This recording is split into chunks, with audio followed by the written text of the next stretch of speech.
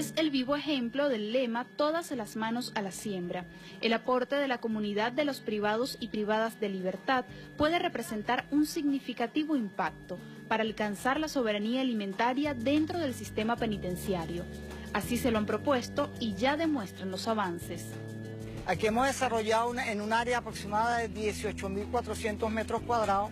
Lo que tenemos el área de cría, tenemos tres lagunas, que viene siendo la cachamera, y el resto eh, ocupa un área aproximada de 1.000 metros cuadrados, y el resto, las otras 17.000 restantes, viene siendo la parte de agrícola, lo que es la parte de siembra, donde tenemos lo que llamamos los tomates, tenemos pimentones, tenemos cebollín, tenemos cebolla, tenemos ahorita calabacín, tenemos por ahí berenjenas, tenemos yuca. Algunos rubros como el maíz, el café, el plátano y lo más bueno de todo esto que tenemos el área medicinal, donde tenemos acetaminofén, tenemos orégano orejón, tenemos hierbabuena y albahaca morada y albahaca blanca.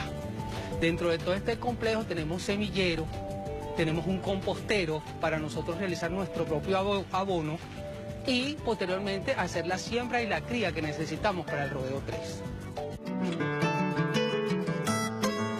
Una vez terminado el proyecto completo, vienen siendo las tres lagunas, la parte del sistema de bombeo y el tanque de desove, deberíamos producir al menos 2.500 cachamas por laguna. Entonces vamos a tratar de tener una producción mensual de 2.500 a 3.400 kilos, dependiendo del tamaño de la cachama. Pueden ser entre un kilo y kilo y medio, dependiendo del tiempo. Más que todo es para, para ser vendido y obtener primero recursos para el mantenimiento de la parcela, ya que estamos recién arrancando, necesitamos comprar abonos, materiales y en un futuro ya próximo para la alimentación de los penales, tanto Rodeo 2 como Rodeo 3. En principio tuvimos que hacer una selección de los distintos eh, privados de libertad que estamos en este centro de reclusión para saber cuáles eran las actitudes que podían tener en cualquier momento. Y conseguimos agricultores de profesión, ingenieros civiles como es mi persona, ingenieros agrónomos, y conseguimos todo ese tipo de personal y lo formamos en cuadrilla. Tenemos aquí hasta maquinistas de retroexcavadora. Nosotros trajimos máquinas, abrimos todo lo que es la parte de las cachameras y hicimos una selección, que somos 34 personas que estamos laborando en este momento en esta zona agrícola por Tenemos también otras áreas, tenemos toda la área acá de trabajo, que tenemos la parte de la bloquera aquí afuera, tenemos internamente la parte de la carpintería, tenemos textil y serigrafía, tenemos por otra parte la parte de electrónica, tenemos la parte de mantenimiento de equipos electrónicos, Tuvimos una época la parte de reparación de electrodomésticos, sobre todo la parte de microondas. Todo lo que había en el penal se reparaba dentro del penal. La parte de refrigeración y otras más. Además de producir rubros alimentarios, esta experiencia promueve la ocupación de los privados de libertad en programas socioproductivos y de formación. Se trabaja en producción agrícola, ocupando espacios importantísimos para el autoabastecimiento en un momento en el que es, fundamental esta actividad, pero que además lleva bastante tiempo desarrollándose en el sistema penitenciario, antes de esta coyuntura que, eh, han hecho padecer a este pueblo.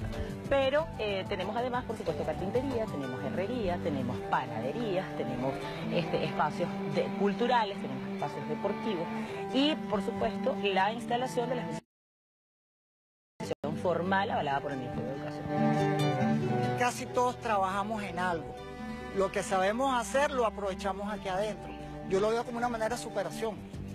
Yo trabajé muchos años en una hacienda que es de la familia, en la parte de proyectos, soy ingeniero civil, pero vi las cachameras como una oportunidad para poder desarrollar algo a escala natural, lo cual en la calle es muy difícil, es costosísimo.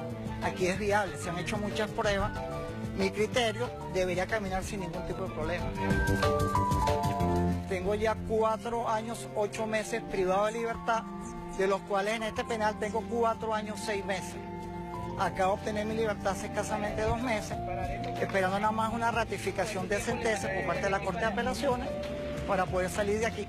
Pero uno de mis sueños es, antes de salir, ver caminar las cachameras completas impulsado por el presidente obrero Nicolás Maduro, donde nos dijo una vez en los Caobos que teníamos los 100 días para nosotros cosechar. Bueno, ya nosotros le podemos decir al, ciudadano presidente que cuenta con nosotros, él ya es una obra ya realizada que lo puede ver, lo puede palpar y cualquier persona lo puede sentir.